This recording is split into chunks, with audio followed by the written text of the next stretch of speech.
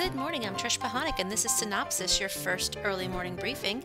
Today is Tuesday, December 15th, 2010. Here are today's top stories.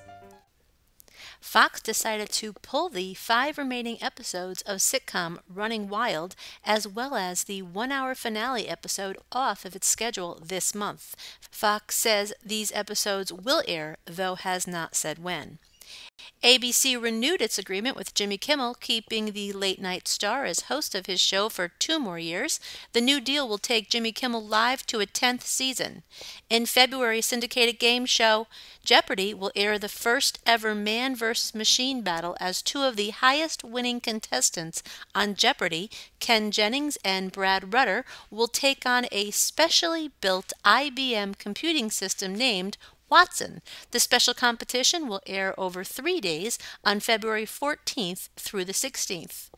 Over at BBC America, they've acquired the Showtime drama series The Tudors, giving the network the exclusive basic cable rights to air all four seasons. Now, The Tudors will begin with an all day marathon of seasons 1 and 2 on January 16th at 9 a.m., and episodes will air in their regular time slot on Tuesdays at 10 p.m. Virginia Madsen landed a recurring role on NBC's The Event, playing the role of attorney Catherine Lewis, the widow of an Alaskan senator who inherited his position. And Natalie Morales is joining Latina magazine as a contributing columnist, offering her insights on parenting. Morales' monthly column named Modern Mammy will debut in the February 2011 issue.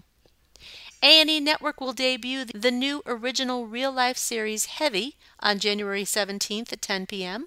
The series follows two people per episode as they lose a dramatic amount of weight over a six-month treatment program. Well-known food journalist Mark Bittman will have a new show on the Cooking Channel as The Minimalist premieres January 2nd at 10:30 a.m. Planet Green goes to the town of Parshall, North Dakota for a new original docu-series Boomtown, which will begin on January 29th and starts at 10 p.m. The series explores how this small, poor town has become a rich, booming community due to recently discovered oil fields. And VH1 is offering up a second season of You're Cut Off, which will premiere January 10th at 9 p.m. ESPN's live broadband sports network, ESPN3.com, will finish off its 2010 2011 college football season with live coverage of 32 bowl games and related trophy presentations. And E continues to follow members of the Kardashian family as the newest series, Kourtney and Kim Take New York, premieres January 23rd at 10 p.m. And on Sunday night, History's season 4 launch of Ax Men tallied 2.1 million total viewers at 9 p.m. And Sunday's season 2 premiere of Basketball Wives on VH1 at 9 p.m. scored 1.4 million total viewers. Current TV picked up two series debuting next month This American Life, hosted by Ira Glass. It will premiere on January 10th at 10 p.m. And Kill It, Cook It, Eat It popular UK series will make its US television debut on January 11th, also at 10 p.m. Fox Sports Media Group re upped its exclusive media rights in the U.S. and Caribbean to the UEFA Champions League for three more seasons. Fox News Channel extended a multi year contract with Bret Baier, where he will continue to anchor Special Report at 6 p.m. and serve as the network's primary political news anchor.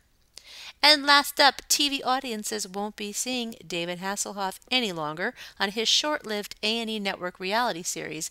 UK viewers will as the Actor Entertainment is joining Britain's Got Talent as a judge.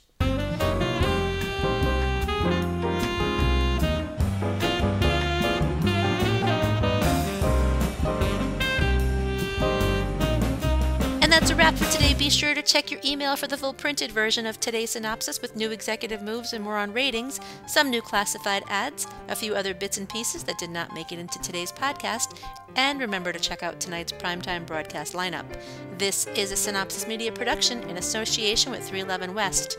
For Cynthia Turner, who wrote and compiled Cynopsis in Connecticut, I'm Trish Pahanik. I'm gonna have a good day, even if If I make it myself, I'm gonna have a good day. I don't need no one else. I'm gonna have a good day. Nothing wrong I could do. I'm gonna have a good day. Hope you have a good day too.